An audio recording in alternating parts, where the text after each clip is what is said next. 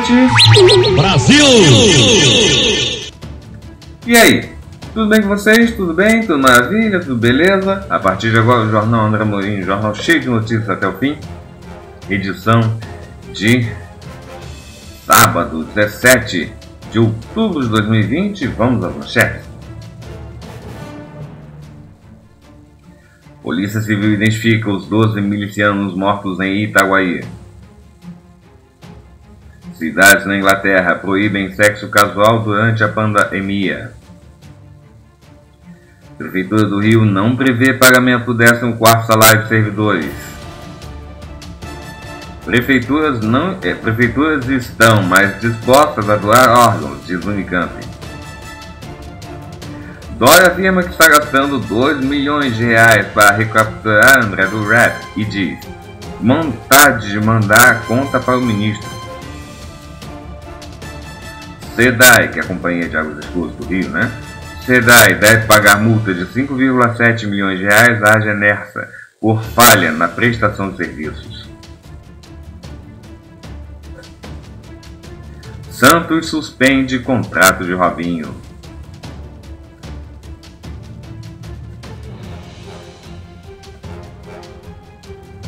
Após acerto com Sapinto, dirigente do Vasco, diz que Jorge Jesus sempre teve desejo de treinar o clube.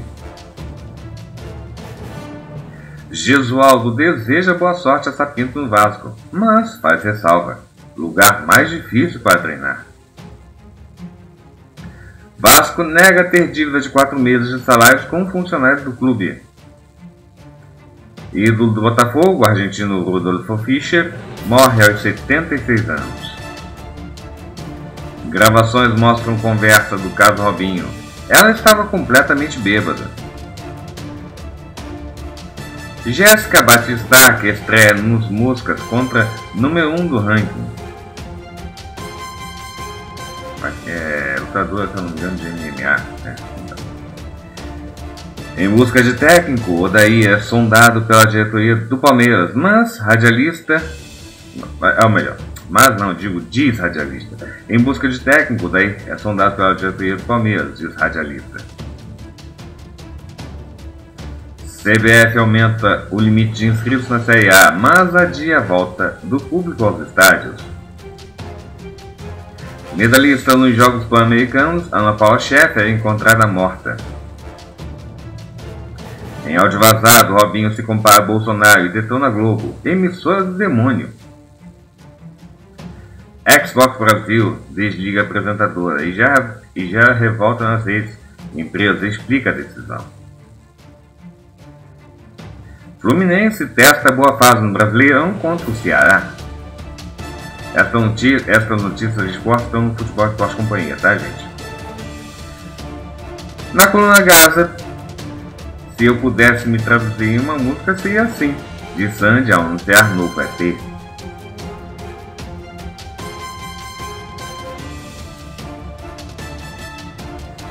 Livian Aragão opina sobre pressão estética. Sempre ajeitei meu jeito de ser.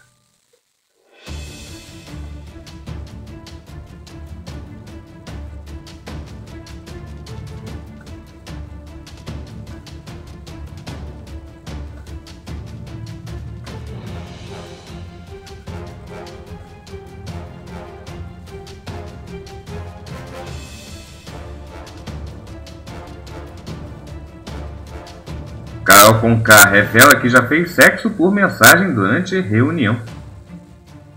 Auxiliar de produção processa TV Globo e Maju Coutinho. Mudança radical no visual. Maria Rita raspa o cabelo. Eu me sinto livre. Foi que disse a cantora, né? Monique Evans relembra clique com biquíni de ventão e fã aponta. Agora está melhor. A Fazenda 12. Tenha lá! Com cala-boca e entre Stephanie e Luísa choca internautas.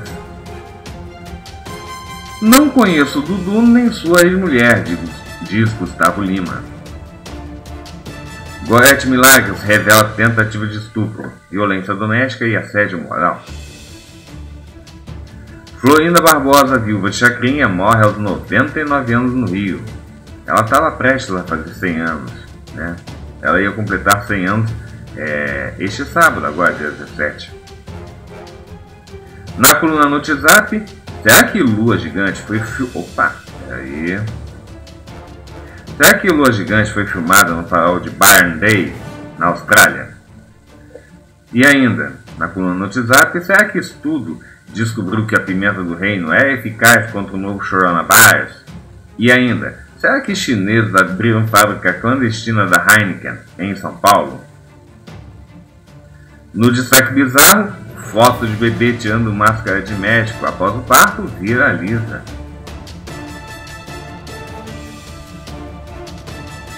E, a última do JA, uma piadinha para alegrar o seu dia, para levantar o seu astral. E o Jornal André Manin começa agora.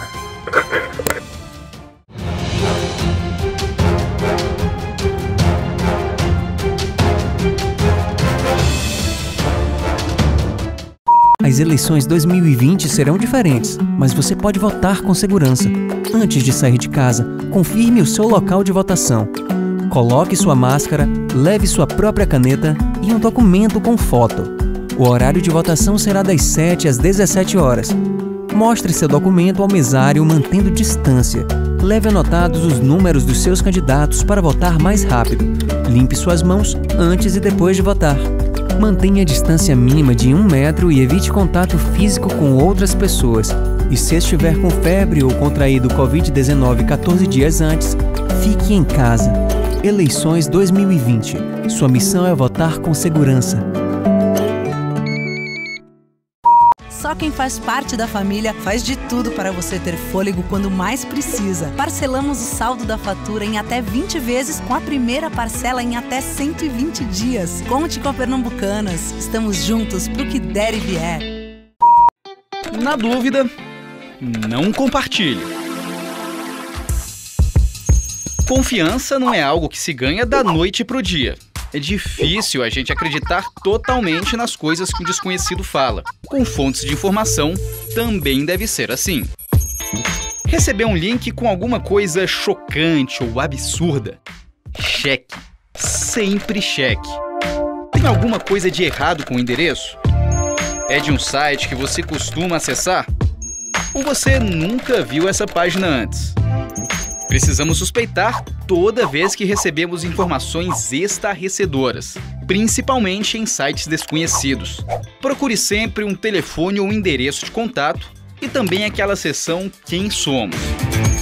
E é sempre bom lembrar: na dúvida, não compartilhe.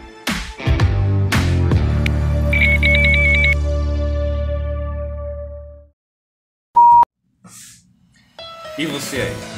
É, você mesmo que está me assistindo, já deu seu like bem gostoso? Não, cara, dê, dê o seu like. Assim você vai fazer o canal André Amorim crescer ainda mais e fazer o André Amorim ser mais conhecido nas redes sociais e nos meios de comunicação, certo? Ah, já conhece o canal André Amorim? Não? Anota aí, ó. Canal André Amorim. O canal cheio de vídeos até a fim. Certo? Canal André Amorim. Simples assim. Ah, já deu uma badalada no sininho? Blim, blim, blim, blim, blim, blim, blim. Ó, ative o sininho para receber as notificações do nosso jornal André Amorim e dos vídeos aleatórios que eu gravo para vocês que me assistem no canal André Mãe. Tá bom? E agora, as notícias, por favor.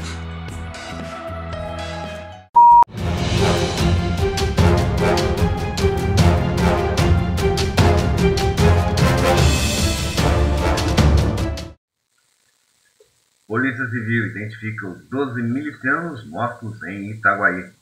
Força conjunta entre equipes da DHPF peritos legistas e papiloscopistas da Polícia Civil permitiu que todos fossem identificados. A Polícia Civil identificou os 12 milicianos que foram mortos na noite de quinta-feira em Itaguaí, durante a ação integrada entre a Polícia Civil e a Polícia Rodoviária Federal. Nas últimas horas, uma força conjunta entre equipes da Delegacia de Homicídios da Baixada Fluminense, DHBF, peritos legistas e patoloscopistas da Polícia Civil, permitiu que todos fossem identificados. Entre eles está Carlos Eduardo Benevides Gomes, vulgo Bené ou Benevides, de acordo com a Polícia Civil, Benevides era um criminoso de altíssima periculosidade, de perfil extremamente violento, atuando como líder da milícia na cidade de Itaguaí e na região limítrofe. Trabalhou como policial militar e foi excluído das fileiras da PM por envolvimento com a milícia de Campo Grande. Apontado como braço direito do miliciano Eco, foi alvo de grandes operações da Polícia Civil, mas continuava foragido. Tem envolvimento com um cemitério clandestino encontrado em Itaguaí e pelo menos seis homicídios era criminoso procurado pela polícia e possuía mais de 10 mandados de prisão preventiva pendentes e dezenas de anotações criminais por diversos crimes como homicídios, roubo, extorsão, formação de quadrilha, porte ilegal de armas de fogo e organização criminosa, diz, diz a corporação em nota. Outro nome na lista é o de Emerson Mendes da Silva, vulgo Macumba.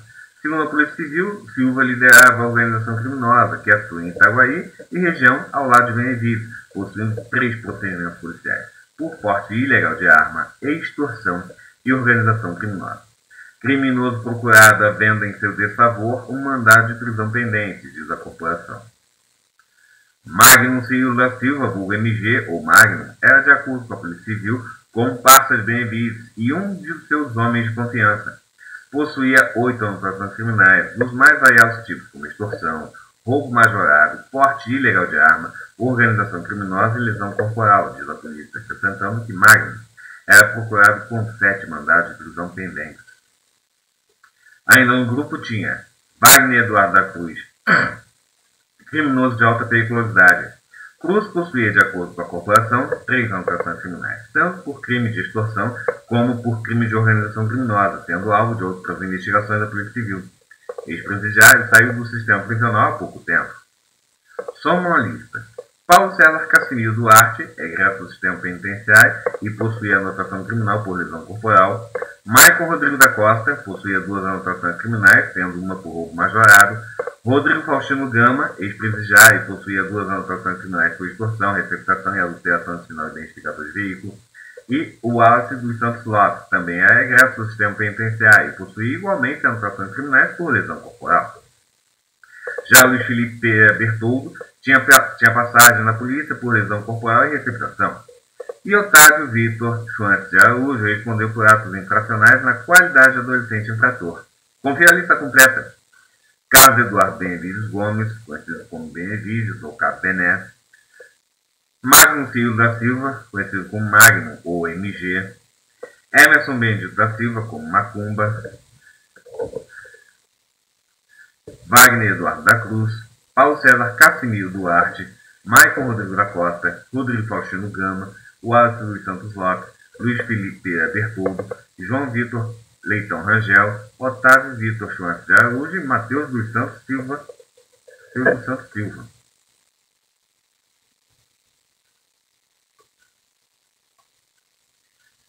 Cidades na Inglaterra proíbem sexo casual durante a pandemia.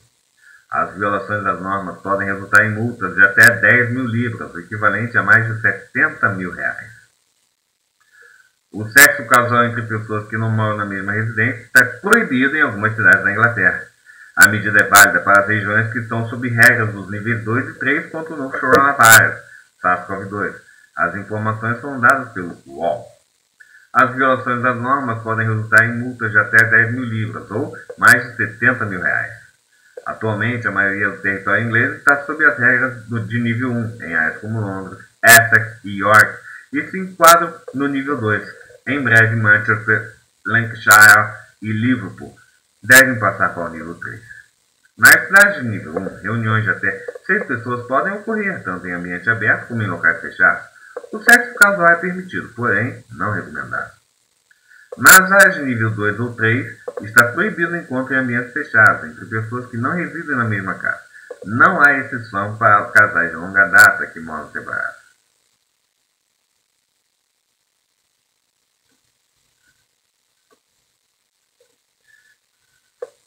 Prefeitura do Rio não prevê pagamento do 14º salário de servidores. O governo Crivella deve gratificação desde 2017 e alega dificuldades financeiras, além, da, além de dívidas deixadas pela gestão anterior. O funcionalismo municipal do Rio vai amargar uma espera ainda maior pelo pagamento do acordo de resultados de 2016. Conhecida como 14º salário, a gratificação deveria ter sido quitada em julho de 2017. Porém, à época, o governo Crivella adiou essa dívida, se comprometendo a zerá-la no segundo semestre daquele ano, o que não se concretizou até hoje. Agora, também não há previsão de quando a Prefeitura do Rio vai acreditar os valores aos servidores. Questionado pela coluna, o governo não informou uma data para o pagamento. Afirmou ainda que se esforçou para manter em dia os salários e não conseguiu cumprir o acordo em função das dificuldades financeiras herdadas da gestão anterior e da crise econômica agravada pela pandemia. A prefeitura acrescentou que a dívida deixada pela gestão anterior foi de 13,2 bilhões de reais, equivalente a 64,74% da receita corrente líquida, e que antes de terminar, de terminar o mandato, o antigo gestor cancelou todos os empenhos. Reivindicação frequente das categorias. O pagamento do acordo de resultados do ano de 2016 tem sido uma reivindicação frequente das categorias municipais. Criado em 2009, no governo de Eduardo Paes, o programa de bônus por metas chamado por servidores também de 14 salário, previa o depósito sempre em julho do ano seguinte. Assim, as gratificações relativas ao cumprimento das metas alcançadas em 2016 estavam previstas para serem pagas em julho de 2017. Para adiar essa dívida para o segundo semestre daquele ano, o prefeito Marcelo Crivella editou decreto um mês antes do prazo, alegando dificuldades financeiras. A prefeitura não respondeu à coluna o valor devido aos servidores. Vale lembrar que o bônus pode chegar a até 100% do vencimento.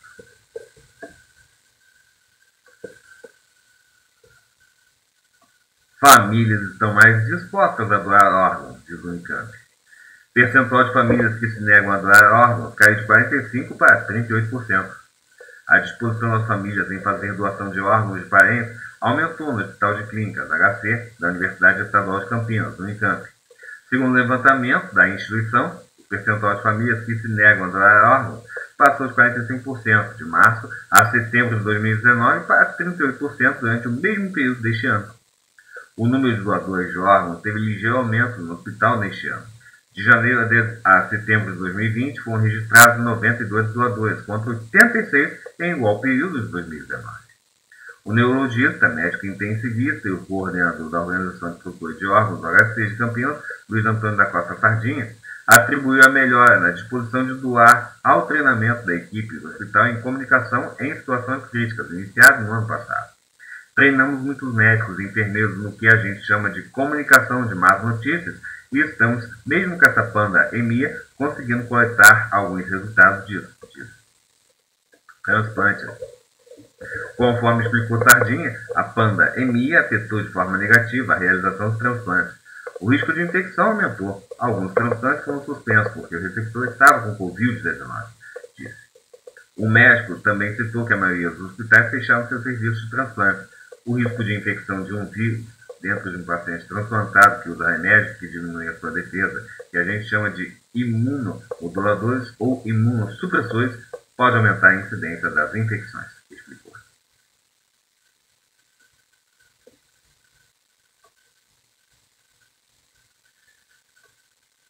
Dória afirma que está gastando 2 milhões de reais para recapturar André do Rap e diz: vontade de mandar a conta para o ministro.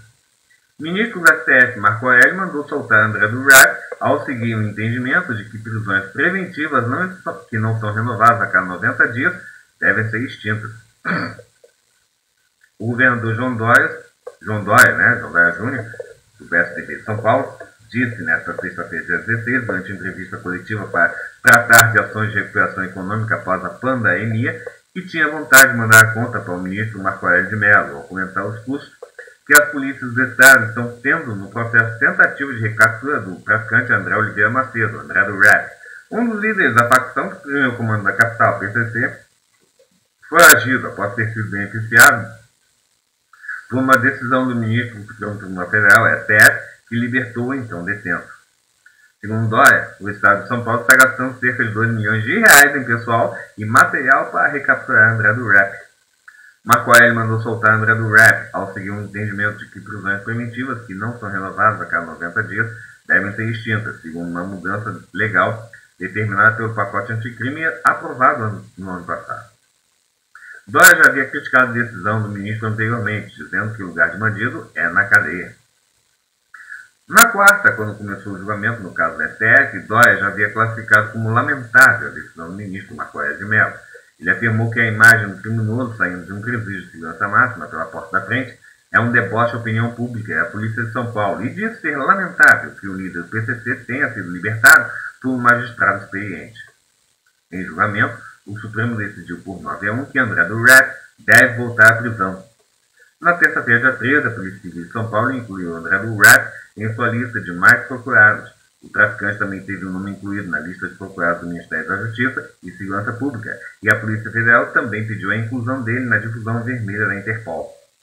No final de semana, a Secretaria de Segurança de São Paulo informou que colocou policiais do Departamento Estadual de Investigações Criminais, DEI, de homicídios de proteção à pessoa, DHPP, e de operações policiais especiais, DOP, em busca de André do Rap.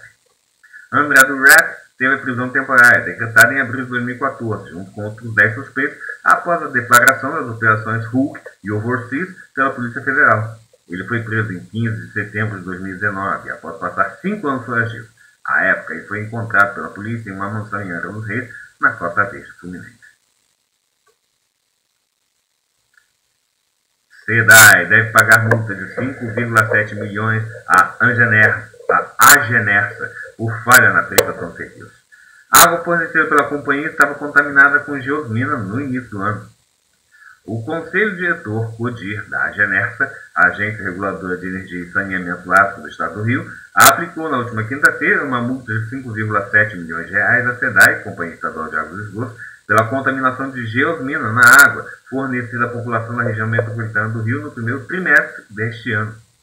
Segundo nota da SEDAI, a companhia tomou ciência da decisão da Genersa e irá recorrer dentro do prazo estabelecido pela agência reguladora. A agência deu um prazo de 15 dias úteis, a contar a data da publicação da deliberação para recolher a sentença e apresentar uma licença ambiental da estação de tratamento do Guandu, essa Guandu, e o termo de ajuste de conduta que a companhia alega estar assinando neste sentido com o Instituto Estadual do Ambiente, INEA. A deliberação determina ainda que a SEDAI acompanhe diariamente o padrão referente a cianotoxinas na água da ETA Guandu, com emissão de relatórios mensais a enviados ao INEA e à Genersa. Para a agência reguladora, a SEDAI cometeu falha grave em seus procedimentos operacionais, comprometendo a qualidade da água fornecida com cor, odor e altos índices de turbidez à população do Rio de Janeiro e colocou em risco a saúde dos usuários, ao alegar que a presença da substância geosmina não traria prejuízo à saúde, à saúde dos usuários. De acordo com normas da Genersa, a água fornecida pela SEDAI deve seguir padrões definidos pelo Decreto Federal 5.540 de 2005 e Portaria do Ministério da Saúde de 1914 de 2011. Concluo que a crise ocasionada pela questão da qualidade da água do Rio de Janeiro no primeiro trimestre de 2020 poderia ter sido evitada pela SEDAI. E quanto a tal ato de inércia, e omissão, resta evidente que houve total afronta da companhia aos dispositivos federais e constitucionais, escreveu o conselheiro relator voto. Para ele, a SEDAI poderia ter agido preventivamente, de modo a evitar maiores problemas no serviço de abastecimento de água. A companhia agiu, contudo, tardiamente aplicou carvão ativado com o fito de tentar resolver a questão da geosmina. No que se refere à aplicação do carvão ativado e aquisição de equipamento, é importante reforçar que os custos relacionados ao mesmo, como bens da própria companhia, não devem ser repassados ao usuário em nenhuma hipótese, já que, como bem informada a Comissão de Valores Imobiliários, resposta ao ofício sobre o número 011, é, barra 2020, é, folhas 138, já existia previsão para esse desembolso. Desconto na conta de água. Segundo nota da Defensoria Pública do Rio de Janeiro, a suspensão do desconto no valor do fornecimento de água foi mantida após julgamento. A SEDA informou que estava negociando com a Defensoria Pública, MPRJ e a Genersa. No entanto, a Defensoria e o MP resolveram encerrar as negociações de Corporação Civil Pública. A companhia conseguiu a suspensão em março, a partir de um pedido feito diretamente ao presidente do Tribunal de Justiça do Rio de Janeiro, que foi concedido.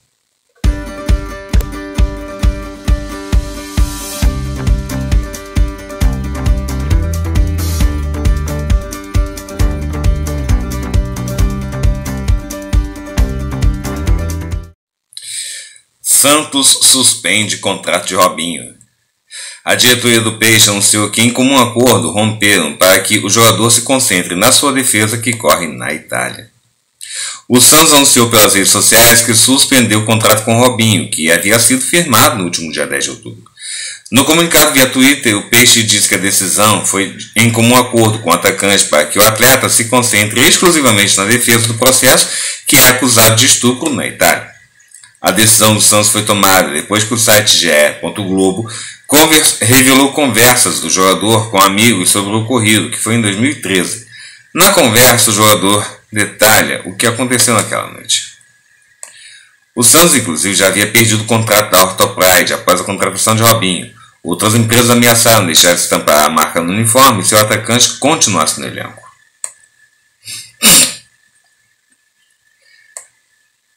Acerto com Sapinto, dirigente do Vasco diz que Jorge Jesus sempre teve desejo de treinar o clube.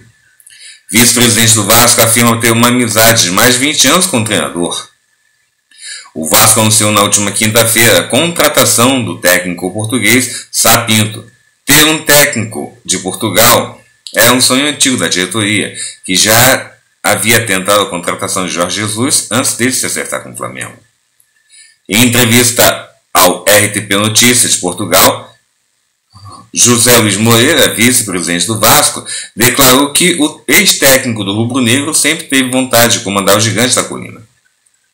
Sou amigo de Jorge Jesus há mais de 20 anos. Eu conheço a história do Jorge. O Jorge sempre teve desejo de treinar o Vasco da Gama. Isso ficou na minha cabeça. Vou trazer um português, como eu já trouxe jogadores também. Lá atrás eu trouxe o Domingues, declarou. O dirigente do Vasco explicou que a, que a escolha por Sapinto se deu ao medo de um novo rebaixamento na história do clube. A gente é assustado, para não ver o Vasco na segunda divisão, resolveu mudar. A gente não pode esperar o mal acontecer para tomar as providências. Tem que ser rápido. Futebol é velocidade, disse.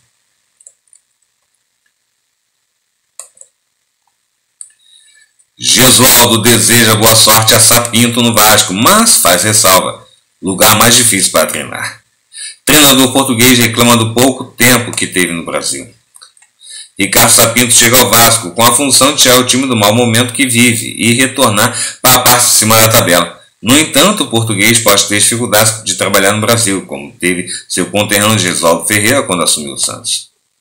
Em entrevista ao GE.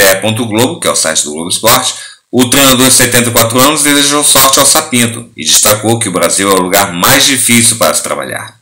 Sapinto vai encontrar essa realidade no Vasco. Como é que o Sapinto, que nunca veio ao Brasil, eles, dirigentes, conhecem. Quando chega, querem ver resultado imediatamente e o tempo é muito curto. Para mim, a dificuldade maior é não haver tempo para trabalhar. Tempo e paciência. Ninguém tem, comenta o treinador. Para mim, é o lugar mais difícil para treinar que há. O futebol brasileiro é o mais difícil de todos no mundo, pela exigência que há e pela falta de tempo para trabalhar, resumiu. Gesualdo chegou ao Santos no dia 9 de janeiro e ficou no cargo até o fim de junho. Foram 15 jogos à frente do Peixe, 6 vitórias, 4 empates e 5 derrotas. Aproveitamento de 48,8%.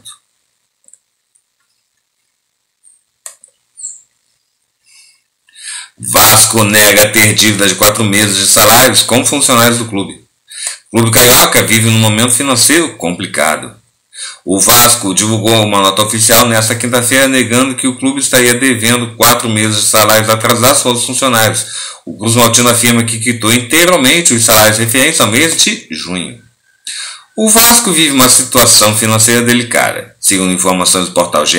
Globo, o investimento feito pelo Clube Carioca para contratar o treinador português Ricardo Sapinto teria repercutido negativamente tanto com funcionários quanto com jogadores. Nos últimos dias, as informações infundadas sobre o Clube de Regatas Vasco da Gama têm surgido no noticiário nas redes sociais. Causa estranheza, ou lamentavelmente, nem tanto, que a proliferação de inverdades ganhe corpo com a proximidade das eleições no clube. Vamos aos fatos. O Clube de Regatas Vasco da Gama desmente veementemente a informação publicada na última quarta-feira, dia 14 de outubro, pelo portal UOL, dando conta de que o clube deve quatro meses de salários funcionários. Ao contrário do que dizia a referida reportagem, o clube quitou integralmente os salários referentes ao mês de junho. Em nome da verdade e da transparência que caracteriza essa gestão, cabe informar que neste momento o clube deve sim um mês de salário dos, aos atletas do, do, futebol profissional, além de um mês do acordo relativo aos atrasados, e dois meses de salário aos funcionários. Este atraso, como não poderia deixar de ser, incomoda muito a todos nós da diretoria administrativa. Apesar das dificuldades, todos os esforços estão sendo feitos para que ao menos uma folha seja quitada nos próximos dias. Mais uma vez, agradecemos pelo empenho de todos os funcionários que, mesmo diante de condições difíceis, reafirmam todos os dias sua competência profissional e seu comprometimento com o clube. Como todos sabem, a panda Emia desencadeou uma forte crise econômica e afetou duramente as receitas do futebol. Inevitavelmente atingiu as finanças do da Gama em um momento de aguda reestruturação do clube. Ciclo este iniciado por esta gestão em 2018. Trabalhamos todos os dias para quebrar em definitivo um ciclo, um círculo vicioso que afeta o nosso clube há muitos anos. Mesmo com todas as adversidades, é importante ressaltar que esta diretoria administrativa já pagou até agora um número de folhas salariais superior ao total de meses do atual mandato desta gestão. A citação aos compromissos em aberto do ano passado herdados por esta diretoria não serve de justificativa para os problemas do presente, em nenhuma hipótese, mas é fundamental que os sócios e torcedores tenham em mente o quanto é trabalhoso e árduo de montar e inverter uma espiral financeira negativa. Ainda nos últimos dias surgiram também rumores de que o Vasco da Gama teria sido excluído do Profut, o programa de refinanciamento de dívidas do, dos clubes com a União. Mais uma inverdade plantada, sabe-se lá, ou sabe-se bem com que intenção. Essa informação não procede de forma nenhuma. Seguimos trabalhando todos os dias para assegurar o equilíbrio econômico-financeiro do Vasco da Gama, valorizar e ampliar o patrimônio do clube, atender nossos sócios e torcedores com o respeito que tanto merecem e entregar aos nossos profissionais as melhores condições de trabalho possíveis. Ao contrário de outros, o caos, a intriga e a mentira não nos interessam. Temos a responsabilidade diária de administrar o Clube de Regatas Vasco da Gama e nos orgulhamos muito dessa missão.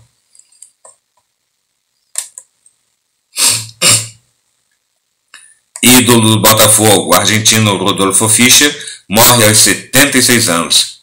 Atacante ao estrangeiro com maior número de gols e partidas pelo Alvinegro. Estrangeiro com mais gols com a camisa do Botafogo, o argentino Rodolfo Fischer, morreu nesta sexta-feira aos 76 anos. As causas da morte ainda não foram divulgadas. Ainda não foram divulgadas. Lobo, como era apelidado, o atacante também fez história pelo San Lorenzo da Argentina e chegou a defender a camisa chegou a defender a seleção argentina. Marcou época no Botafogo pela qualidade técnica e garra. Pelo Alvineiro, jogou de 1972 a 1976, com 180 jogos e 68 gols. Outro ídolo do clube, Louco Abreu, tem 5 a menos. Herrera vem logo atrás com 51. Também jogou pelo Vitória, Once Caldas do México e Sarmiento da Argentina.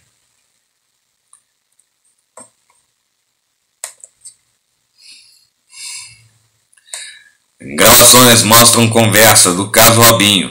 Ela estava completamente bêbada. Jordan foi condenado pela justiça italiana por violência sexual contra a mulher albanesa em Milão. Contratado pelo Santos na última semana, Robinho é condenado pela justiça italiana por violência sexual contra uma mulher albanesa e não pode entrar no país. O portal GE. Globo teve acesso a, inter... a interceptações telefônicas realizadas pelo atleta após o ocorrido. As aspas são parte da sentença judicial que puniu o jogador com 9 anos de prisão. A decisão em primeira instância, realizada em 2017, ainda não é definitiva. A Corte de Apelo de Milão vai abrir nova análise do processo, em segunda instância, no dia 10 de dezembro. O caso ocorreu. Bom, continuando. A decisão em primeira instância, realizada, realizada em 2017, ainda não é definitiva.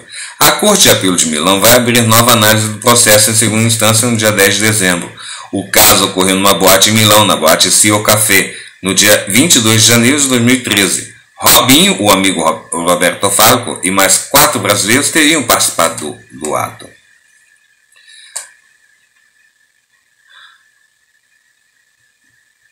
Bom, a conversa é, está no jornal Dia.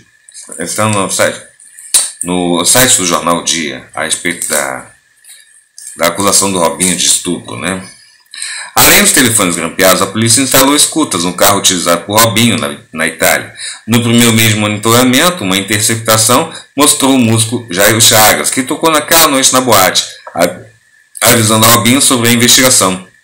O jogador, segundo a transcrição, respondeu. E Robinho completou, né? Na, na, numa conversa, né? Após a contratação de Robinho, o Santos foi amplamente criticado nas redes sociais.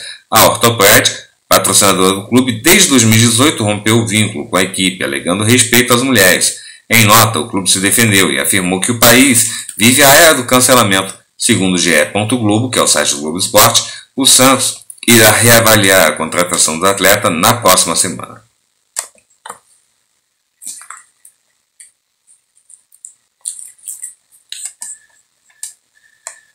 Jéssica Batistaca estreia nos, nos pesos moscas contra número 1 um do ranking.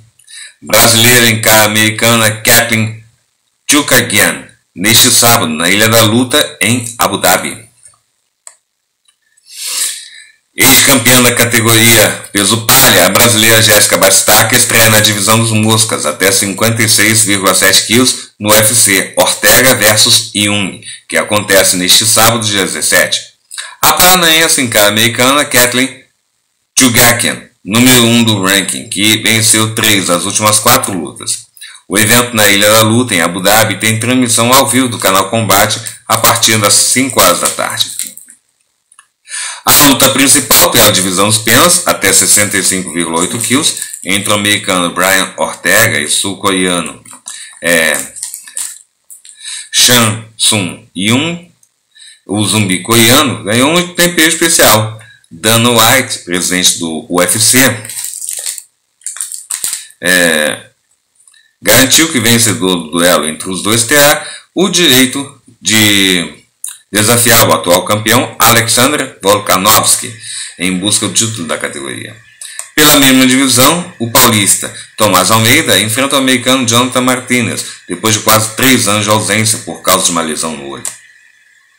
Ainda no caso principal, o maturossense Claudio Hannibal tenta manter a invencibilidade no UFC diante do americano James Krause. Já a mineira Poliana Botelho tem pela frente a canadense Gillian Robinson, Gillian Robinson 15 no ranking da categoria peso mosca. A brasileira, que neste sábado sobe pela quinta vez ao octógono do UFC, fez uma participação na novela Força do Querer, que está na TV Globo em edição especial. Na ficção, Poliana interpretou ela mesma no capítulo no capítulo final da trama, quando a personagem Gilza Rocha, personagem da Paulo Oliveira, conquista o tão sonhado cinturão do UFC. André Azevedo e Anaíssa comandam o aquecimento combate e a transmissão do card preliminar. Na sequência, Rods Lima narra e Luciano Andrade comenta o card principal. O evento tem lutas que prometem ser espetaculares, Expectativa grande pelo retorno de Tomás Almeida, um lutador que pode alçar voos mais altos no UFC por tudo que já apresentou. E estarei ao lado do Luciano Andrade na transmissão, o que é sempre um prazer, já que ele é a enciclopédia do MMA, brinca Rogers Lima. O Sport TV 2 e o Combate.com exibem as duas primeiras partidas da noite, ou as primeiras lutas da noite. Em busca de técnico, Odaí é sondado pela do Palmeiras, diz radialista. Alviverde desligou Vanderlei Luxemburgo do comando da equipe. O Palmeiras está no mercado em busca de técnicos após o desligamento de Vanderlei Luxemburgo na última temporada e, segundo informações do jornalista Alex Bagé, da Rádio Bandeirantes de São Paulo, Odaí Helman é um dos cotados. O Alviverde Paulista sondou a possibilidade do técnico deixar o tricolor e assumiu o café até o fim da temporada. Além dele, o Palmeiras estuda os nomes de Guto Ferreira, do Ceará e Miguel Ramírez, espanhol do Independiente del Valle.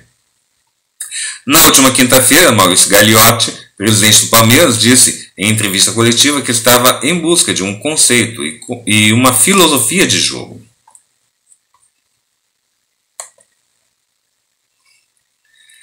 CBF aumenta o limite de inscritos na Série A, mas adia a volta, ao, a volta do público aos estádios. Medida não vale para os clubes das séries B e C. A entidade admite retomar debate sobre o público em breve. Em reunião virtual realizada nesta sexta-feira, a CBF atendeu ao pedido dos clubes da Série A e aprovou o aumento no número de inscrições de jogadores no Campeonato Brasileiro. No entanto, a medida não foi aprovada nas séries B e C. Outro ponto importante na pauta do dia, a possibilidade de volta do público aos estádios foi adiado. O país registra a morte de mais 150 mil pessoas em decorrência da pandemia do novo coronavírus. Por unanimidade, os conselhos técnicos mantiveram a proibição da presença do público em jogos do brasileiro e definiram pela retomada periódica da discussão para análise. A deliberação ainda determinou que o retorno gradual aconteça com aval das autoridades de saúde locais, segundo todas, seguindo todas as medidas protetivas previstas no estudo encaminhado pela CBF ao Ministério da Saúde. No entanto, que contou é, com a participação do presidente da entidade, Rogério Caboclo, presidentes dos clubes e das federações estaduais aprovaram um aumento de 40 para 50 jogadores inscritos na primeira divisão. A data limite para as novas inscrições será dia 6 de novembro, com substituições na lista até o dia 20 de novembro. Vale lembrar que o Campeonato Brasileiro será esticado até fevereiro de 2021 em razão da pandemia. O presidente da CBF, Ricardo Caboclo, ou melhor, Rogério Caboclo anunciou aos 20 clubes que a CBF fará o rateio de um recurso total de um milhão de reais arrecadado a partir da comercialização de placas de publicidade da competição. Confia outras mudanças.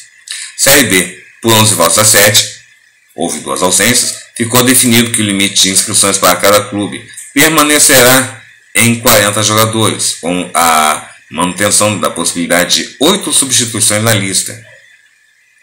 Foi aprovada uma mudança no prazo limite para novas inscrições, que passa para 9 de novembro de 2020, e estabelecido, estabelecida a nova data limite para, para proceder às substituições em 7 de dezembro de 2020. Série C. Por 11 votos a 6, houve 3 ausências, ficou definido que o limite de inscrições para cada clube permanecerá em 40 jogadores, com até 8 substituições na lista. Foi aprovada uma mudança na data limite para novas inscrições, que passa a ser dia 11 de novembro de 2020, e para proceder às substituições ficou definida a data limite de 2 de dezembro de 2020.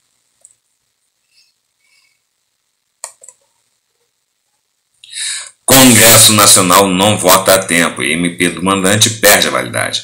Medida provisória 984 de 2020, chamada popularmente como medida provisória do mandante, perdeu a validade nesta quinta. Com isso, voltam a valer as regras anteriores.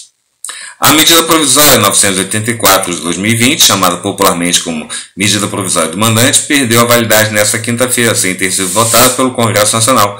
Com isso, voltam a valer as regras anteriores da Lei Pelé, que distribuiu o direito de arena entre o dono da casa e o visitante.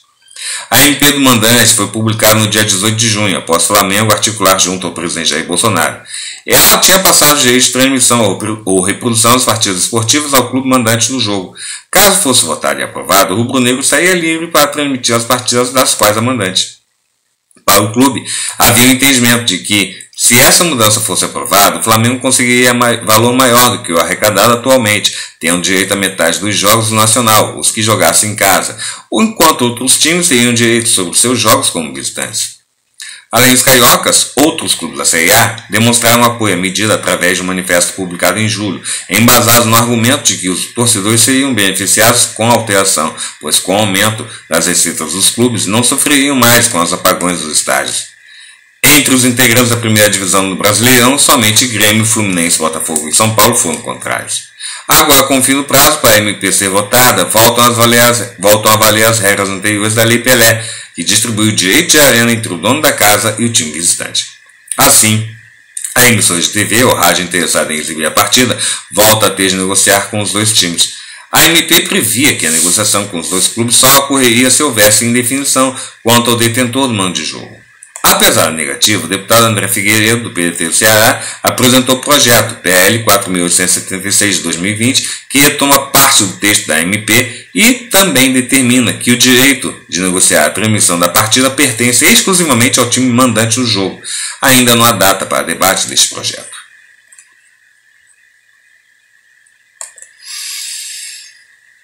Medalhista nos Jogos Pan-Americanos, Alma Paula Schaeffer, é encontrada morta. Ex-ginasta foi encontrada sem vida em Toledo, no Paraná, nesta sexta-feira. Ex-integrante da Seleção Brasileira de Ginástica Rítmica, Ana Paula Scheffer, morreu aos 31 anos nesta sexta-feira, dia 16. A ginasta foi encontrada sem vida em sua casa, em Toledo, no Paraná, deitada na cama, segundo informações da equipe de ginástica rítmica da cidade. Atualmente, Ana Paula trabalhava como técnica de ginástica rítmica em Cascavel. A atleta foi encontrada morta pela própria mãe por volta do meio-dia e meia desta sexta-feira. Ainda não há confirmação da causa do falecimento, mas existe a suspeita de que ela tenha sofrido um infarto. Durante as conquistas, ou melhor, dentre as conquistas de Ana Paula junto à seleção está a medalha de bronze no arco, obtida nos Jogos Pan-Americanos de 2007 no Rio de Janeiro. Ana Paula também participou do PAN, da modalidade, em 2005, dos Jogos Sul-Americanos de 2006, em Buenos Aires e de 2010 em Medellín, além do Mundial de Ginástica Rítmica rítmica de 2009 no Japão. A ginástica, a ginasta Angélica Kietinsky prestou homenagens à conterrânea através das redes sociais. Aliás, é a Angélica Kiet, é, a ginástica Angélica Kwieciński prestou homenagem à conterrânea através das redes sociais. Difícil descrever os sentimentos neste momento. Hoje o céu ganhou uma estrela que já brilhou muito na Terra. Foram tantos anos treinando juntas, tantos aprendizados. A ginástica brasileira perde mais uma de suas estrelas. Ana, que Deus te receba. Que seu descanso seja tranquilo. Você estará para sempre nas minhas preces.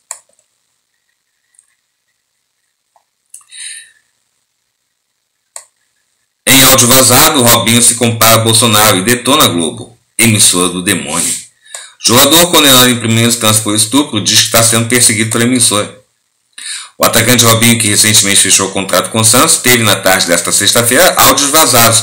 Neles, o jogador se compara a Jair Bolsonaro, afirmando que, assim como teria acontecido com o presidente, ele estaria sendo perseguido pela emissora Rede Globo. Para o atleta, o atual seria parecido com a ocorrida durante as eleições de 2016. Na verdade, 2018, né? Bebeto, tô em paz, irmão. Como falei, Deus ele está me preparando para algo muito maior. No deserto é nesses ataques que você se aproxima de Deus e se prepara. A gente tem, tem exemplos aí. Você viu o que fizeram com o Bolsonaro antes da eleição? O ataque que fizeram ao cara, falando que o Bolsonaro era isso e aquilo, que o Bolsonaro era racista, fascista, que era assassino. E quanto mais eles batiam no Bolsonaro, mais ele crescia. Então, estou em paz mesmo, de coração. Não estou preocupado com eles, diz Robinho nos áudios. Robinho também diz que irá usar uma camisa em homenagem ao presidente quando reestrear pelo Clube Paulista. O bem sempre vence e a verdade vai aparecer. Os caras aí são pessoas usadas pelos demônios, né? A gente sabe que uma TV Globo é uma emissora do demônio. É só você ver as novelas, as programações. Então eu estou em paz. Deus vai dar a vitória. E se cumpre o propósito de Deus na minha vida. Meter gol neles. Tamo junto. Vou meter uma camisa quando fizer gol. Globo lixo. Bolsonaro tem razão. Completa o jogador. Provas da justiça italiana aparecem. O jogador foi assunto antes todo dia em matéria publicada pelo site ge.globo, no Grupo Globo. Foi revelado interceptações telefônicas sobre o caso de estupro coletivo que envolve o jogador. As interceptações foram usadas como provas da justiça italiana para condenar o jogador em primeira instância. Em uma das transcrições, Robin aparece dizendo que a vítima estava inconsciente estou rindo porque estou porque não estou é, nem aí. A mulher estava completamente bêbada. Não sabem nem o que aconteceu. Em outras delas, o músico Jairo Chagas pergunta a Robinho se ele não transou com a mulher. O jogador nega e Chagas diz: Eu te vi quando colocava o pênis dentro da boca dela. Robinho responde que isso não significa isso não significa transar. Repercussão negativa entre os patrocinadores os jogadores, os patrocinadores do clube não gostaram nada do que viram nesta sexta e entraram em contato com o clube alegando que caso o contrato com o jogador continuasse, os patrocínios se findariam. São elas: Kicaldo, Codilar, Tecbond, Foxlux, Filco, Casa de Apostas, Oceano B2B. A empresa de ortodontia Ortopride não quis esperar e já rescindiu. Os jogadores Santos suspendem contrato. Suspendem contrato. No início desta noite, por meio de suas redes sociais, o Santos anunciou que suspendeu o contrato com Robinho para que o atacante possa dedicar de forma exclusiva em sua defesa no processo que está aberto na Itália. O Santos Futebol Clube e o atleta Robinho informaram que, em comum acordo, resolveram suspender a validade do contrato firmado no último dia 10 de outubro para que o jogador possa se concentrar exclusivamente na sua defesa no processo que corre na Itália. Robinho se pronuncia. Em uma postagem nos stories do Instagram, Robinho falou sobre o assunto. O atacante confirmou que tomou a decisão de suspender o contrato por entender que estava atrapalhando o Santos e vai buscar a sua inocência.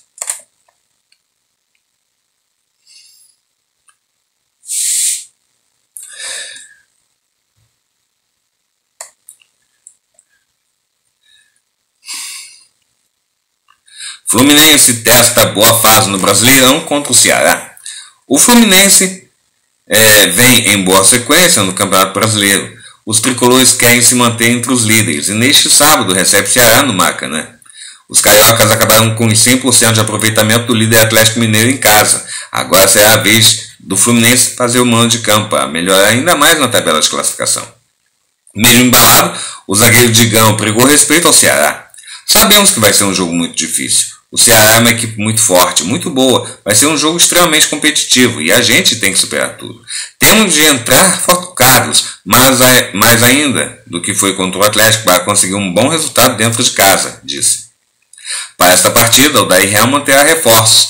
O treinador vai contar com os retornos do lateral esquerdo Danilo Barcelos, que cumpriu suspensão, além do meia Nenê e do atacante Fred, poupados no meio da semana. Do outro lado, o Ceará teve a semana livre para trabalhar visando este duelo, tanto que o técnico Guto Ferreira exaltou a preparação. Procuramos descansar e recuperar os jogadores e, ao mesmo tempo, trabalhar alguns ajustes nos setores ofensivos, defensivos e de transição. Lógico que não, temos que não temos certeza de que essa semana de recuperação possa fazer diferença contra o Fluminense, mas ser um ganho considerável pelo número de jogos que fizemos até aqui, disse. Para esta, para esta partida, os cearenses têm uma série de desfalques. Luiz Otávio, Samuel Xavier e Eduardo estão fora. É, estão fora, estão suspensos. Fluminense Ceará vai ser no Maracanã é, neste sábado, dia 17, às 7 horas da, da noite, no horário de Brasília. O árbitro é Gilberto Rodrigues Castro Minto. Gilberto Rodrigues Castro Júnior, de Pernambuco. Assistentes: Clóvis Amaral da Silva, de Pernambuco, e Ricardo Bezerra Chianca, ou Quianca, né, de Pernambuco. E no VAR, Jean-Pierre Gonçalves Lima, do Rio Grande do Sul. Fluminense. A, a, provável, a provável escalação. Muriel, Igor Julião, Nino, Digão e Danilo Barcelos. Russon, Dodi, Iago e Nenê. Luiz Henrique e Fred. E o técnico é o Daí Helman. E o Ceará. A provável escalação será Fernando Praz, Fabinho, Thiago Pagnussati, é, Eduardo Brock e Bruno Pacheco. Charles, Ricardinho e Vina. Fernando Sobral, Léo Chu e Rafael Sobes. O técnico é Guto Ferreira. Na verdade, o nome do Thiago é Thiago Panhussá, né?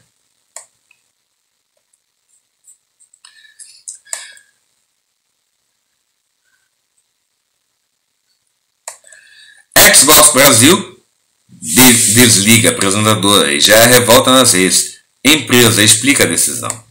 Isadora Basile chegou a sofrer ameaças graves após ser anunciada é, após ser anunciada. É, a Isadora Basile chegou a sofrer ameaças graves após ser anunciada pela marca na Microsoft. A apresentadora Isadora Basile foi desligada pela Xbox Brasil nesta sexta-feira. Gerou uma enxurrada de críticas à marca. Desde o anúncio da contratação da criadora de conteúdo, começaram os ataques misóginos de parte da comunidade gamer paulista. De acordo com a postagem de despedida de Isadora, divulgada na noite desta sexta-feira, ela chegou a receber até ameaças de estupro e morte. A decisão da empresa pela, pelo desligamento foi duramente criticada. Foi duramente criticada pela comunidade dos games e esports. Atualização. Ainda na noite desta sexta-feira, a Xbox Brasil se pronunciou sobre o caso e explicou nas redes o motivo do desligamento. De acordo com a empresa, foram feitas algumas mudanças nas estratégias de conteúdo original da marca e isso deu origem a essa reformulação na equipe. Confio o comunicado completo. No início de setembro, quando anunciei meu novo trabalho, sofri ataques de todos os tipos de pessoas falando que eu não jogava jogo X ou Y e por isso é, não era digna do meu cargo até ameaças de estupro, morte. Estupro, morte, relata a apresentadora. De acordo com a, com a Isadora, a Xbox Brasil teria decidido que a apresentadora não faria mais parte do elenco da marca no país, para que ela não sofresse mais ainda no cargo, ou não sofresse ainda mais no cargo. Devido a todos esses ataques, a Microsoft encontrou como melhor opção me desligar do cargo de apresentadora para que eu não esteja mais exposta a situações como essas que, que se passaram, revela. A decisão da empresa foi duramente criticada nas redes sociais e a postagem de Isadora rapidamente viralizou. Já são mais de 46 mil curtidas em menos de 4 horas, entre jornalistas, youtubers, streamers e, e, pro, play, e pro players. Confira algumas das reações à controversa escolha da Xbox Brasil. As postagens estão no, na matéria é, do Globo Esporte, do GE. Globo, né, do site do Globo Esporte, dizendo é, da matéria do desligamento do Xbox da apresentadora Isadora Basílio.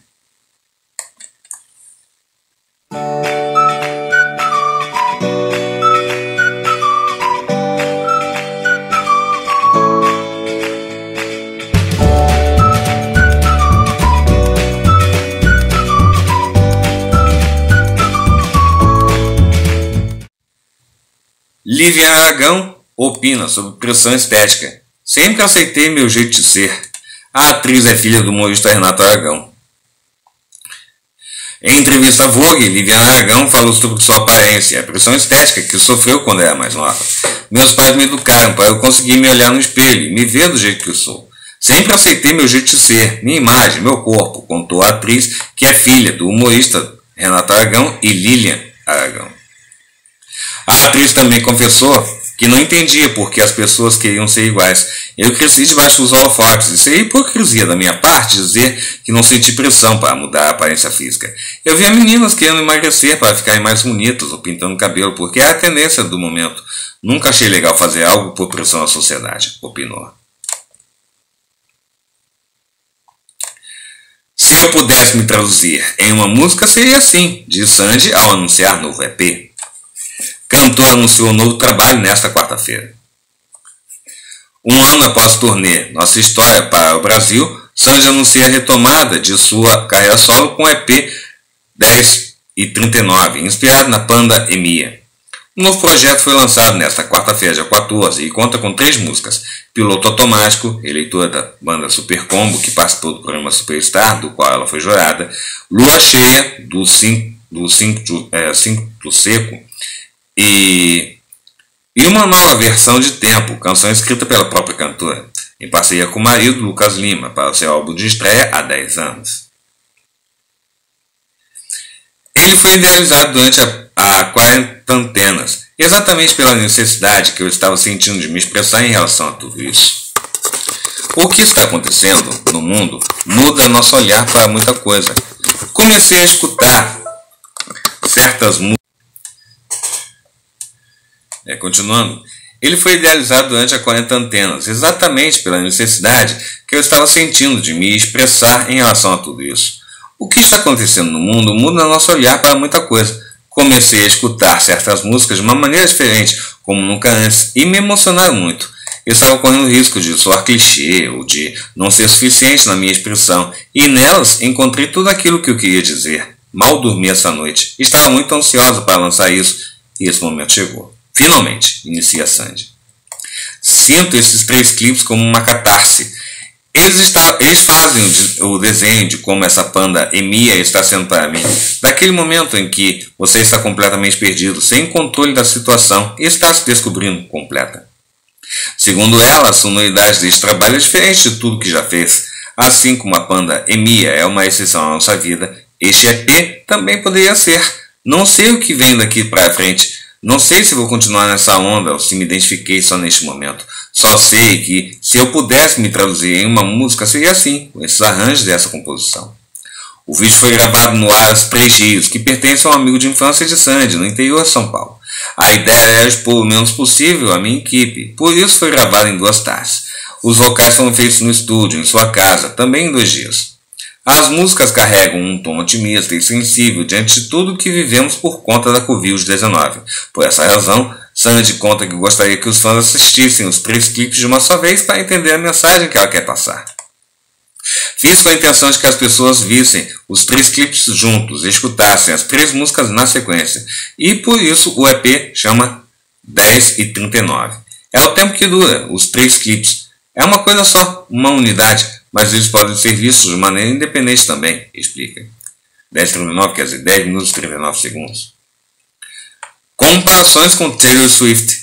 Antes do novo trabalho ser lançado oficialmente, um, um teaser misterioso foi divulgado e os fãs começaram a comparar o designer gráfico do último álbum de Taylor Swift, o Folklore. Sandy diz que ficou surpreso com a repercussão e nega que, que tenha se inspirado na cantora norte-americana. Demorei a entender do que estava falando. Nem sabia como era a faixa visual do disco da Taylor, foi uma coincidência, mas eu deveria saber, né? Já que eu sou uma cantora. Desculpa. Tem um artista que eu sou muito fã e me inspira bastante, o Bon Iver, ou Bon Iver, que produziu o disco dela. Então, se a gente pode fazer alguma coisa, alguma comparação, está aí. 2020 cancelado. Sandy tinha um plano traçado para retomar seu trabalho individual. A mãe de Theo revelou que uma turnê estava marcada para começar em agosto. Como sou muito apaixonada pelo que faço, me apego logo. Ano passado fiquei envolvida no projeto Sanji Júnior, me doei para aquilo e estava ansiosa para voltar logo para a minha carreira solo. O EP foi a minha maneira de estar aqui, de me expressar artisticamente, dar algo para os meus fãs. Pretendia lançar músicas inéditas, mas vou deixar para o ano que vem. Ele é o projeto do momento em que eu faço 10 anos de carreira, então é especial. Coloco minha alma e só sei fazer assim. Esse projeto me, me representa, orgulha-se.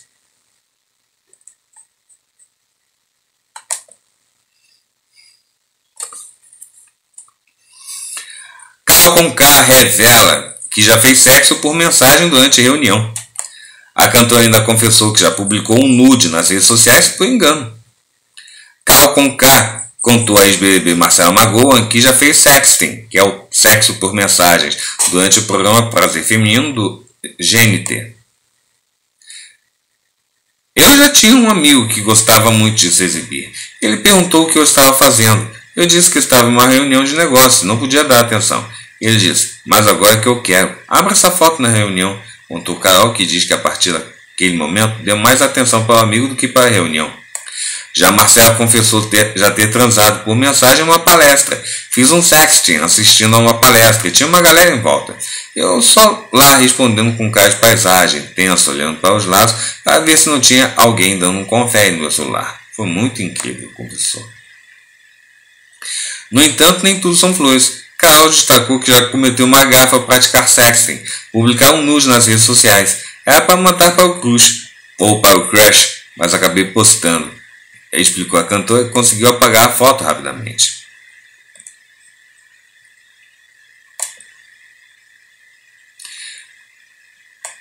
Na coluna da Fábio Oliveira, O Dia, exclusivo, auxiliar de produção processa TV Globo e Maju Coutinho. Kaique Batista foi absolvido do crime de racismo contra a apresentadora em março, após cinco anos de ação na justiça. Auxiliar de produção desempregado, Kaique, ou melhor, auxiliar de produção desempregado, Kaique Batista, está processando a TV Globo e a jornalista Maria Júlia Coutinho por danos morais. Em março deste ano, ele foi absolvido do crime de racismo por falta de provas contra a apresentadora do JH, que é o jornal hoje, né? O processo corre desde 2015. Na época, Kaique acabou sendo levado por policiais militares e funcionários do Ministério Público de São Paulo para prestar depoimento ao Fórum Criminal da Barra Funda e teve o seu computador apreendido. Primeiro como suspeito e depois denunciado por falsidade ideológica, injúria, corrupção de menores na internet e associação criminosa na internet. O rapaz conseguiu responder em liberdade. A minha vida mudou. Eu tinha, eu, já, eu tinha emprego há quatro anos, tinha uma casa tinha minha dignidade. Perdi tudo mesmo falando que era inocente. E perdi tudo mesmo falando que era inocente, não tendo uma prova concreta contra mim. A única coisa que me envolvia na postagem de racismo foram os comentários de duas pessoas. O Kaique, que nos mandou vir aqui. Eu não publiquei nada, fui julgado, hostilizado e acusado em todas as mídias. Agora que eu fui inocentado, ninguém me procurou. Desabafa. Kaique pede 800 mil reais de indenização por danos morais. Até hoje estou apontado nas ruas. Adquiri síndrome do pânico e depressão. Acabaram com a minha vida e eu quero justiça, explica a coluna. Ângelo Carbone é o advogado que defende Kaique Batista no processo. Está otimista com relação a uma vitória na justiça. O juiz já ordenou a citação dos réus, mas ainda não foi realizada. É um processo só, mas eu coloco os dois, a emissora e a jornalista, na ação, porque houve a tentativa de incriminar um inocente. Ele conhecia as pessoas, mas não fez nada. E, na verdade, ele que teria que ter praticado o ato racial, a intenção, o dolo, para ser acusado. E não foi o que aconteceu. Destruíram a vida do rapaz. E é justo que o, é justo que o Kaique seja reparado, afirma Carbone com exclusividade à coluna. Procurada a comunicação da TV Globo responde: Não nos manifestamos sobre assuntos sob júdice.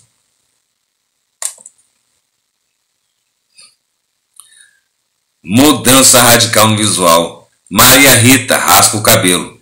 Eu me sinto livre.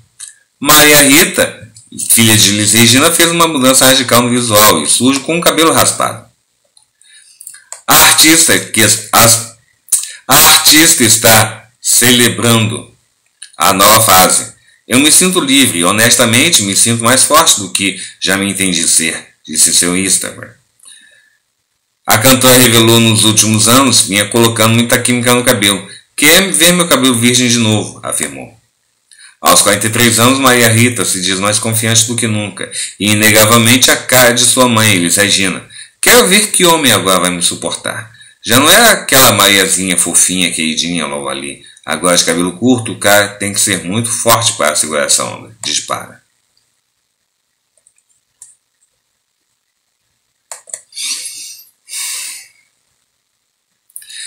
Monique Evans relembra clique com biquíni diferentão e fã aponta.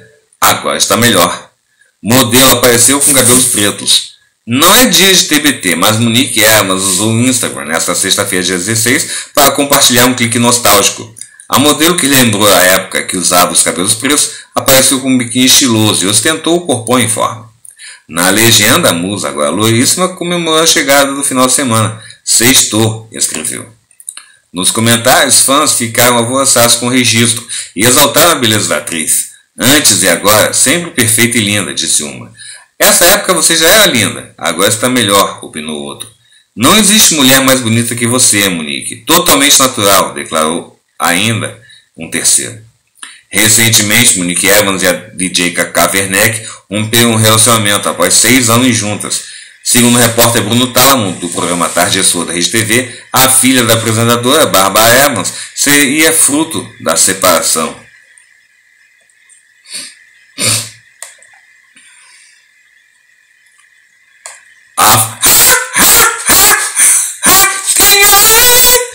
A Fazenda 12 com cala a boca e gritos, gritem, briga entre Stephanie e Luísa choca internautas. Fofoca não é posicionamento, diz Stephanie. Stephanie Bays não gostou nada de ver Luiz Ambiel fazendo fofoca das críticas que Mariano teceu sobre Biel em A Fazenda 2020, na madrugada de quinta-feira, dia 15, para sexta, dia 16. A modelo chamou a atenção da musa da banheira e ambas entraram em forte discussão. Eu não fiz fofoca. Eu fiz o quê? Você quer aparecer no jogo em cima de mim? Isso é lealdade, disse Luísa. Não é fofoca isso que você fez? Imagina se não fosse, retrucou Stephanie na sede da Fazenda 2020. Ou a Fazenda 12, né? Luiz Ambiel não gostou da chamada de atenção na frente dos peões e logo aumentou o tom de voz. Você me respeita, garota. Guarda sua opinião para você. Nunca fofei com respeito com você. Isso é posicionamento que eles cobram. Irritado, Stephanie não se segurou. Cada um tem sua visão. Eu pelo menos falei a sua cara. Eu só falei a minha perspectiva. Você fez uma fofoca. Em desespero, ela começou a gritar em cima da cama para chamar a atenção. Luísa, no entanto, seguiu atacando e pedindo para ser respeitada. Sabe o que aconteceu? Você está achando que o grupo é fraco e você querendo se bandear para outro lado, seguiu Ambiel. Nada disso. Você não gosta de ser contrariada. Ah, Luísa, me poupe. Pelo amor de Deus, não posso falar o que eu penso, finalizou Stephanie. No fim, até Vitória Vilarim se viu envolvida na briga. Vou começar a ter posicionamento, disse a ex Eduardo Costa. Stephanie então replicou: Fofoca não é posicionamento. Desabafando com Jojo Todinho.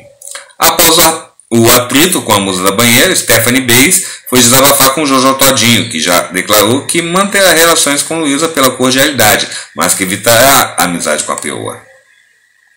Ela falou um monte de coisa e a gente bateu boca. Falei que não precisava aparecer à custa delas e que eu sempre respeitei. Nossa, surtei, quebrei as garrafas. A Vitória estava no meio fazendo fofoca junto, disse a modelo. Falei um monte de verdade. Não é possível eu estar maluca. Aí vem falar, eu calar a boca e respeitar ela. Tá achando que é quem? Por isso que eu fiquei fula. Falei muito, continuou o Beis. Quero a distância dela. Falo cordialmente, ela fica puxando o assunto. Agora só vou me afastando. Isso é feio. Te queima, pontuou, pontuou Juju todinho.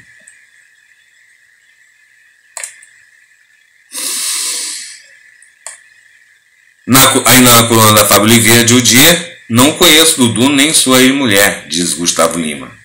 Malu Ohana foi apontada como pivô da separação do sertanejo. Malu Ohana, ex do jogador Dudu do Palmeiras, ganhou os holofotes ao ser apontada como pivô da separação de Gustavo Lima e Andressa Suíta, segundo a colunista Fabiola Heibert. A coluna então procurou o cantor sertanejo, que nega veementemente: Não conheço Dudu nem sua ex-mulher. De acordo com Fabiola, os dois teriam ficado juntos pelo menos quatro vezes, enquanto sertanejo não enquanto sertanejo ainda estava casado.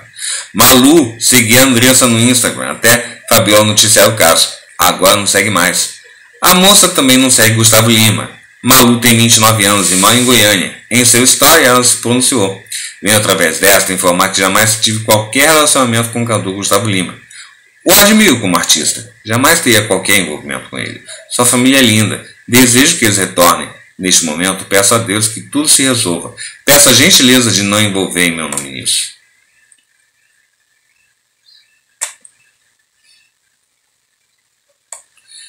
Ainda na coluna da Fábio Oliveira.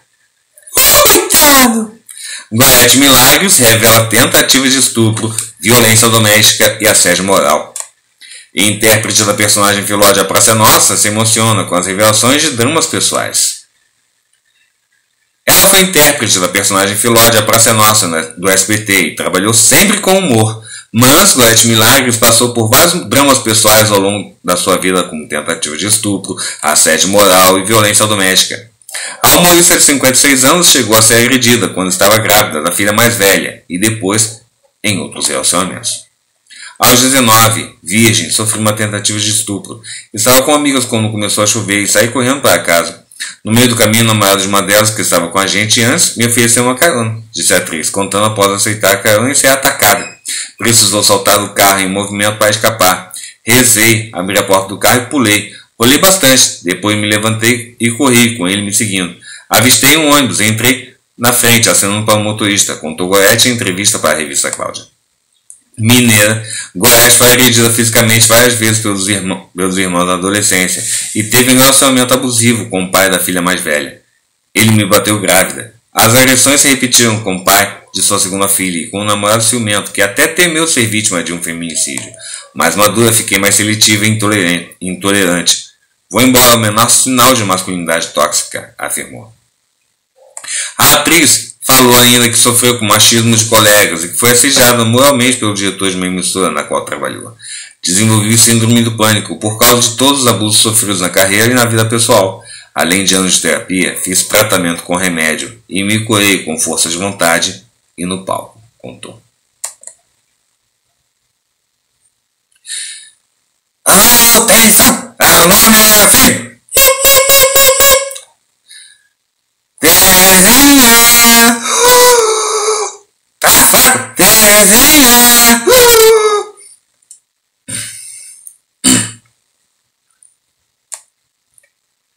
Alô, quem não se comunica, se trombica! Alô, André Amorim, o jornal... Alô, vocês... Alô, assistam o jornal André Amorim! o jornal cheio de notícias até o fim. Lembrando Chacrinha, Florinda Barbosa, viúva Chacrinha, morre aos 99 anos no Rio. Florinda Barbosa de Medeiros ia completar 100 anos neste sábado. Ela morreu na madrugada desta sexta, dia 16. Abelardo Barbosa está com tudo e não se aprosa. Menino levado da breca, chacrinha pra chacrinha da buzina discoteca. Ó Terezinha, ó Terezinha, é um barato, cassino do chacrinha. Grande chacrinha. Vamos falar da esposa dele, que, que partiu na sexta-feira. E ia fazer este sábado 100 anos. Florinda Barbosa de Medeiros, viúva de Abelardo Barbosa, Chacrinha, morreu na madrugada desta sexta-feira, dia 16, em sua casa na Barra da Tijuca, zona oeste do Rio. Ela deixou um filho, Leleco Barbosa, oito netos e dois bisnetos. Florinda completaria 100 anos neste sábado, dia 17. O velório está marcado para as 11 horas da manhã na Capela 1 do cemitério São João Batista, em Botafogo. O outro filho do casal, Jorge, morreu aos 72 anos de coronavírus no dia 2 de setembro. A família ainda está acertando questões relacionadas ao velório. A neta Dandinha Barbosa e o filho Leleco publicaram fotos em homenagem à dona Florinda em suas redes sociais.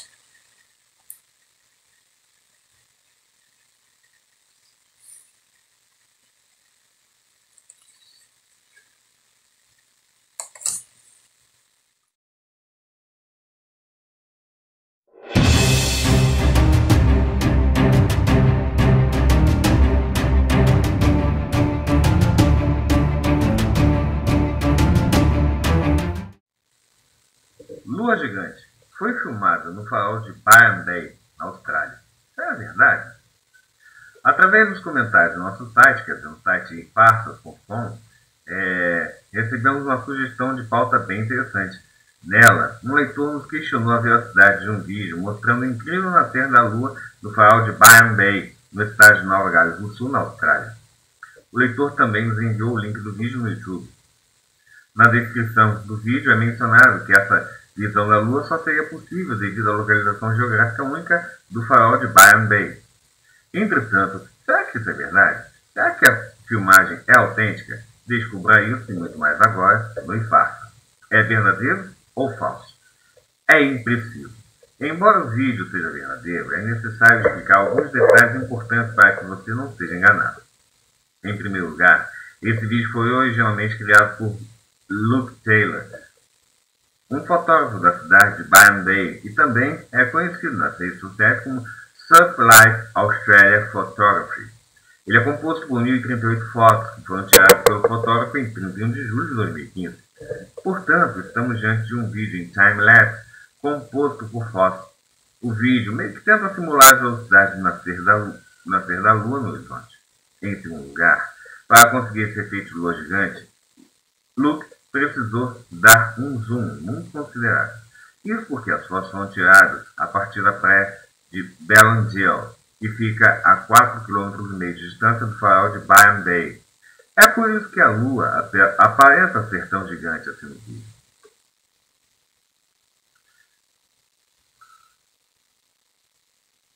As declarações de Luke Taylor. Na época, numa publicação em sua conta no Facebook, Luke Diz que o Cabo assim como o Farol, é o ponto mais a leste do continente australiano e, portanto, do meu lugar da Austrália assistir ao nascer da lua cheia. Ele diz que foram necessárias várias tentativas, passando por diversos fracassos, até conseguir fazer esse registro. Resumidamente, para conseguir esse tipo de registro foi necessário aguardar muito tempo até se deparar com as condições climáticas ideais. Para fazer esse registro, Luke usou uma câmera Canon 7D uma lente super teleobjetiva EF600mm f4L f/4L e f2 da Canon, além de um extensor de lente 1.4, também da Canon. Isso resultou numa distância focal de 840mm. Assim sendo, é importante destacar que não é simplesmente pegar um avião e assistir a olho numa lua gigante nascer nesse local. Você acreditou nisso? Você foi enganado. E qual o tamanho real da Lua naquele ponto? Para se ter uma noção do real tamanho da Lua, ao menos mais próxima da realidade, basta dar uma pesquisada no Google. Conclusão. Impreciso. Em primeiro lugar, o vídeo é composto por 1038 fotos que foram tiradas por um fotógrafo local em 31 de julho de 2015. Portanto, estamos diante de um vídeo em time-lapse composto por fósforo que tenta simular a velocidade do nascer da Lua no horizonte. Em segundo lugar, para conseguir esse efeito de lua gigante, o fotógrafo precisou dar um zoom muito considerável. Isso porque as fotos foram tiradas a partir da praia Belangelo, que fica a 4,5 km de distância do farol de Byron Bay. Byron Bay perdão. É por isso que a Lua aparece, aparenta ser tão gigante assim no vídeo. Para fazer esse registro, Luke usa uma câmera Canon 7D, uma lente super teleobjetiva EF 600mm, f4L e f2 da Canon, além de um extensor de lente 1.4 também na Canon. Na verdade, é f4, é f/4. É, isso resultou numa distância focal de 840mm. Assim sendo, é importante destacar que não é simplesmente pegar um avião e assistir a uma lua gigante na frente do local. Se você acreditou nisso, você está enganado.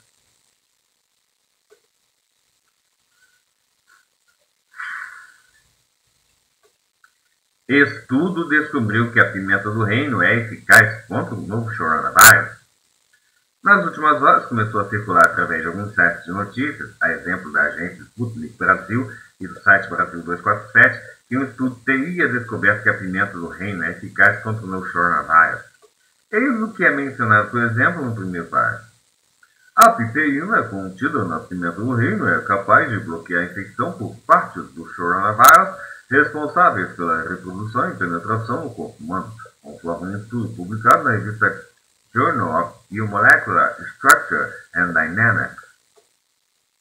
Aliás, cabe destacar que o texto publicado pelo site Brasil 247 é uma cópia idêntica ao texto publicado pela agência de notícias Sputnik Brasil. Entretanto, será que o estudo realmente mostrou isso? Usar pimenta no reino na alimentação irá impedir uma infecção pelo novo coronavírus? Descubra no e faça é verdadeiro ou falso? Infelizmente, é falso. O título, subtítulo e o primeiro parágrafo do artigo, que foi originalmente publicado pelo Sputnik Brasil, são altamente enganosos. Embora o estudo citado seja verdadeiro, ele não comprovou que a pimenta do reino seja capaz de bloquear ou impedir uma infecção pelo novo coronavírus. A seguir, vamos explicar rapidamente o estudo para vocês. O nome do estudo dava uma ideia do que esperar. O estudo citado chama-se in silico investigation of spice molecules as potent inhibitor of SARS-CoV-2 e foi publicado em meados de setembro de 2020 no periódico Journal of Biomolecular Structure and Dynamics. Ele foi elaborado por três pesquisadores do Instituto Indiano de Tecnologia em, em Dhambad, na Índia. Somente pelo nome do estudo já daria para ter uma noção do que poderíamos esperar dele. Isso porque in silico é uma expressão usada no âmbito da simulação computacional e há correlatas para indicar algo ocorrido como em ou através de uma simulação computacional, ou seja, não é sequer um teste in vitro e muito menos in vivo. Para, para se ter uma ideia, testes in vitro já se encontram nos níveis mais básicos da pesquisa na área da saúde. In silico, então, Além disso, ao traduzirmos o nome do artigo, logo percebemos outro problema. Trata-se de uma investigação de moléculas de especiarias como potenciais inibidores do SARS-CoV-2. Portanto, não houve nenhuma descoberta dizendo que a pimenta do reino é eficaz contra o coronavírus, mas tão somente uma proposta aos pesquisadores sugerindo a piperina, um composto orgânico presente na pimenta preta, também chamada de pimenta do reino no Brasil, como uma molécula ativa para a inibição do SARS-CoV-2. Um rápido panorama do estudo. O estudo é basicamente uma simulação em computador do acoplamento de 30 moléculas de especiarias selecionadas para identificar os potenciais inibidores para o RBD-SPO, que é a proteína spike, e MPO, que é a enzima proteolítica do SARS-CoV-2. Nessa simulação, foi visto que, embora todas as moléculas se liguem ativamente a essas estruturas, por assim dizer, a piperina tem a maior afinidade de ligação entre as 30 moléculas selecionadas, sendo inclusive mais eficaz do que alguns fármacos usados atualmente. Ao fazer essa ligação, a piperina talvez pudesse inibir a replicação viral do SARS-CoV-2.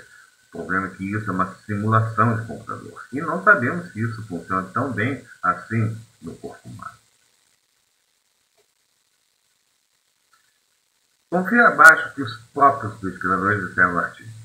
Uma vez que este estudo foi realizado computa computacionalmente, ele requer experimento in vitro, assim como in vivo, para validação posterior. Assim sendo, diante desse título, diante desse estudo, perdão, é enganoso afirmar que a pimenta do reino foi descoberta como agente eficaz contra o coronavírus ou que ela seja capaz de um, impedir uma infecção pelo SARS-CoV-2. Isso ficou bem claro? Para mostrar como isso é perigoso, basta voltar no tempo, em junho de 2020, quando o alho, o gengibre a cúrcuma estavam sendo usados por moradores do Iêmen por puro desespero, como proteção contra a Covid-19, mas sem nenhuma eficácia comprovada.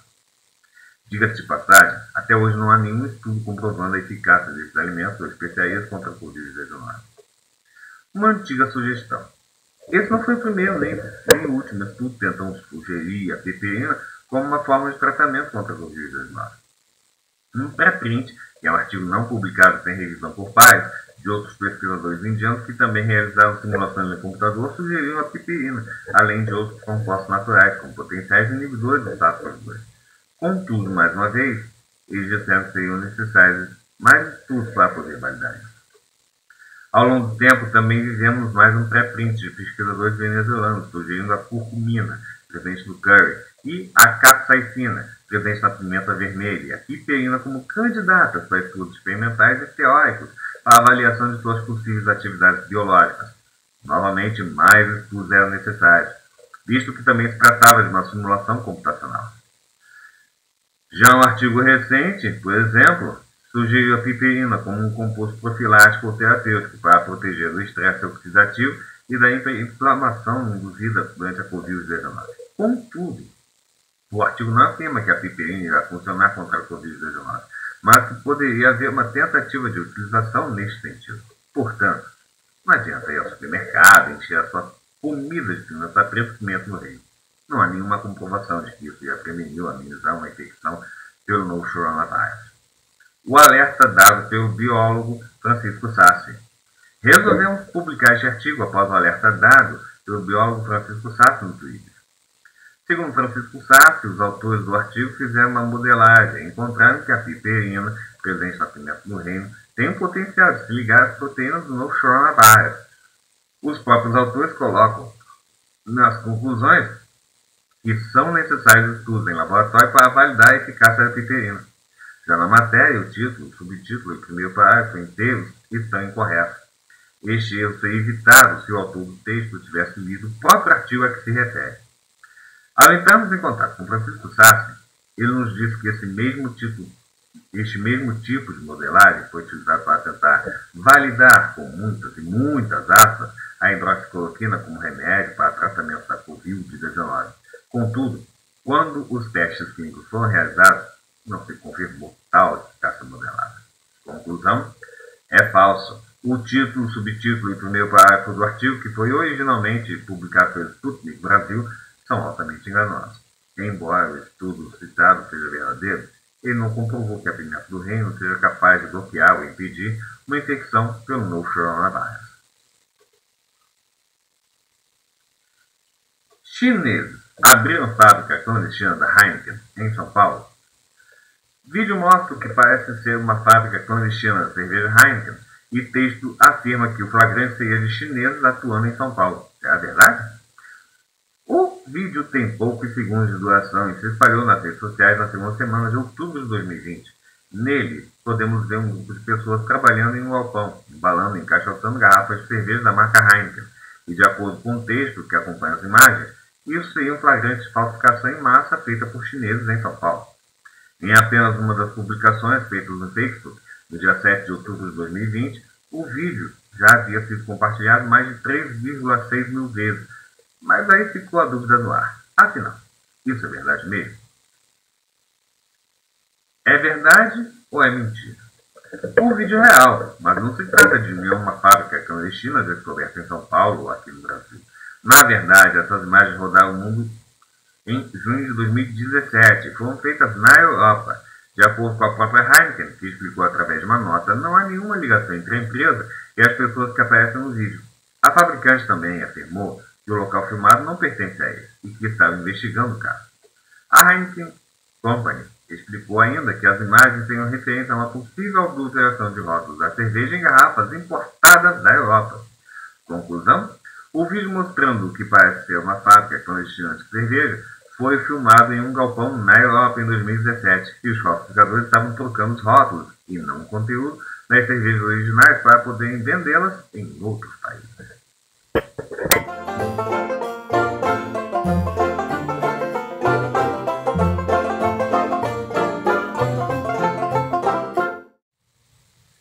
Foto de bebê tirando máscara de médico após o parto viraliza. A foto de um bebê tirando a máscara de um médico após o nascimento se tornou viral nas redes sociais. O registro foi compartilhado na semana passada pelo obstetra libanês Samer Shiaib no Instagram e acabou se tornando um símbolo de esperança pelo fim da pandemia de Covid-19. Na legenda da publicação, o especialista escreveu: Todos nós queremos o sinal de que, de que vamos tirar a máscara em breve. O, o médico que vive em Dubai, nos Emirados Árabes, disse ter ficado surpreso com a repercussão da foto, que já tem mais de 25 mil curtidas.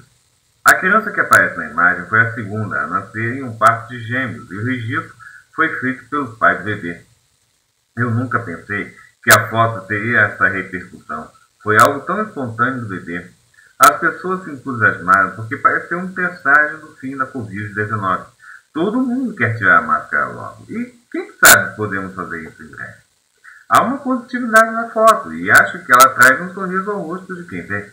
O pequeno recém-nascido queria um mundo sem máscaras e talvez muito em breve poderemos ter isso, disse Sheaib ao portal Gulf News.